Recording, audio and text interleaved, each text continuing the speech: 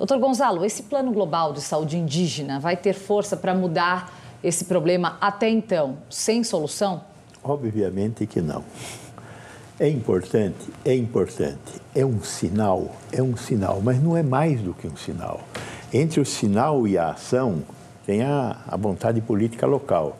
Então, a OMS, nós já vimos durante essa pandemia qual é a capacidade de articular que a OMS tem. É uma capacidade pequena. Ela não conseguiu levar vacina para os países pobres como ela se pretendia levar e como ela deveria levar. Nós temos que repensar esses organismos internacionais se nós queremos pensar um futuro melhor para a humanidade. Agora, o sinal é o, é o, importante, foi dado. Agora, nós temos que fazer a lição de casa aqui. O que, que nós vamos fazer com a tal da, da emenda constitucional aí que está em discussão? É, o que, que nós vamos fazer com o marco temporal? O que, que nós vamos fazer com os quilombolas? Somos nós que vamos fazer, não é a OMS.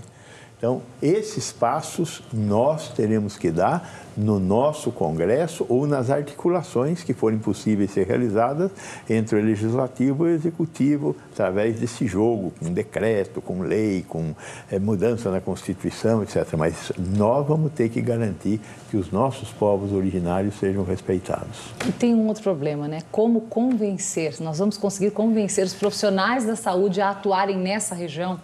Isto é uma questão de política pública que eu acho perfeitamente factível. O que nós temos que conseguir é montar adequadamente a política pública.